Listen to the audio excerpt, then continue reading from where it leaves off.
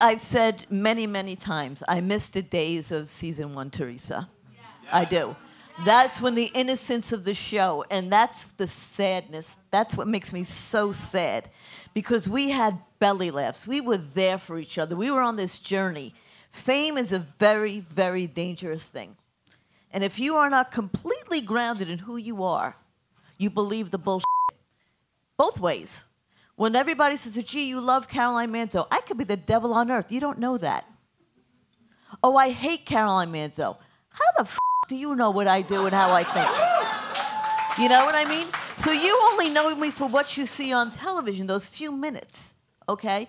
So I, I thank you for those that love me and for those that hate me, cool. You know what I mean? So that's the same thing with Teresa. The fame got to her head.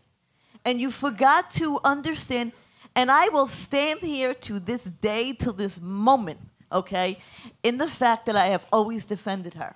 Honestly, I don't think Teresa's a bad person. I think she will just step on anybody to get ahead. It, it's wild to me that now people, especially in the way that the way that the world is now, that she looked at my mom at that reunion and she looked, look at you, roll, roll, roll. You're fat, blah blah blah, and went crazy for me for getting a surgery. And I was like, do you realize that women kill themselves over what you're saying to people right now, the way that you're speaking to my mother, saying that she's fat, putting her looks down, that is like so damaging to people watching and young girls. And no one thought about that. No one thought about how terrible that was for her to say that. They just thought about how, you know, all the other explosive stuff that went that went down. And well, and I, I call that, that the napalm thing to show that she was a fraud and that she has two New York bestsellers books that she didn't write and and and it's true. She didn't write them. She didn't write her own blog. She can't. She probably can't even spell Mississippi.